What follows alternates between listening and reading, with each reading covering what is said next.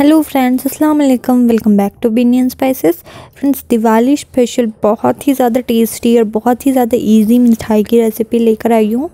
इसे बनाना बहुत ही आसान है और बिना मावे के हम इसे बनाएँगे।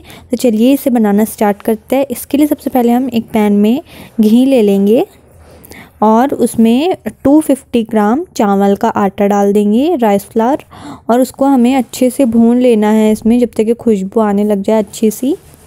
और ये भुना जाए। फ्लेम को एकदम लो ही रखेंगे ताकि ये अच्छे से भुना जाए और जले नहीं। और ये देखिए फ्रेंड्स, थोड़ी देर बाद ये अच्छे से भुना चुका है। तो अब हम इसमें 50 ग्राम वो नारियल का बूरा ऐड करेंगे, डेसिकेटेड कोकोनट, और हम शुगर सिरप बना लेते हैं। तो इसके लिए 200 ग्राम शुगर ले रही हूँ मैं यहाँ पे। आप चाहे तो 250 ग्राम ही ले सकते हैं। और जितनी शुगर है उससे आधा पानी डाल के इसको इसकी शुगर सिरप चाशनी बना लेंगे हम।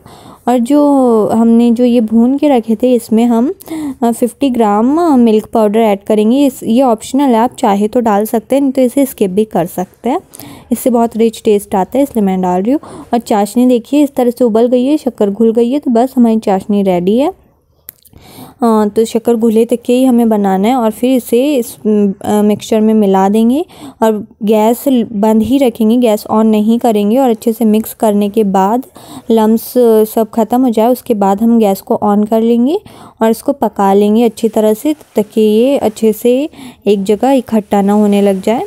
थोड़ा सा इसमें रोज़ वाटर ऐड कर देंगे क्योंकि हम रोज़ फ्लेवर बना रहे हैं। तो इस तरह से हम रोज़ वाटर इसमें ऐड कर देंगे, तीन से चार चम्मच। आप चाहे तो रोज़ एसेंस भी ऐड कर सकते हैं। और इसको, ये देखिए फ्रेंड्स इस तरह से हो जाए, एक जगह थोड़ा सा इकट्ठा होने लग जाए थिक हो जाए, तब तक के हमें इसे पकाना है। और फिर आधा हम अलग निकाल लेंगे। और आधा हम टिन में इसे डाल करके कोई भी डब्बा ले लीजिए आप, उसको अच्छे से ग्रीस कर लीजिए। मैंने बटर पेपर लगा दिया है, उसमें डाल देंगे। और ये वाला जो है, आधा जो हमने निकाल के रखे थे उसमें थोड़ा सा पिंक फ़ूड कलर ऐड करेंगे। थोड़ा सा पानी डाल देंगे ताकि कलर अच्छे से मिक्स हो पाए और इसे अच्छे से मिक्स कर देंगे।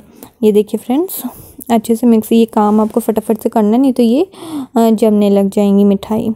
तो ये जल्दी से इसको अच्छे से मिक्स करने के बाद इस तरह से इसी में जिसमें हमने पहले डाला था, इसके ऊपर अच्छे से इसको स्प्रेड कर देंगे और ड्राई फ्रूट्स डाल देंगे। आप जो पसंद करते हो वो डाल लीजिए और फिर थोड़ी देर के लिए सेट होने के लिए रख दीजिए।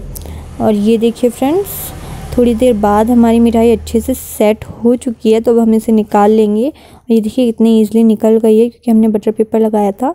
आप चाहे तो सिर्फ़ ऑयल से ग्रीस करके अच्छे से इसे यूज़ कर सकता है। और ये देखिए फ्रेंड्स मैंने बटर पेपर रिमूव कर लिया है, और अब हम इसको कट कर लेंगे। तो आप जैसा शेप चाहे उसे दे सकते हैं। तो मैं इसे रेक्टेंगुलर शेप में इस तरह से कट कर रही हूँ। बहुत सुंदर दिखता है ऐसे कट करने से। और ये देखिए फ्रेंड्स इस तरह से मैं ऐसे कट कर रही हूँ। बहुत ही इजीली ये कट हो जा रही है। और ये देखिए कितनी सुंदर हमारी ये मिठाई बन करके रेडी हो चुकी है। बहुत ही जल्दी बन जाती है फ्रेंड्स और खाने में बहुत ज़्यादा टेस्टी लगती है। बिल्कुल भी पता नहीं चलता है कि ये आपने चावल से बनाई है। बहुत ज़्यादा टेस्टी लगती है। तो एक बार ज़रूर आप इसे बना करके ट्राई करिए। दिवाली में इसे अपनी फैमिली के साथ इंजॉय करिए। बहुत ज़्यादा टेस्टी लगती है और बिल्कुल भी पता नहीं चलता कि आपने चावल से बनाई है।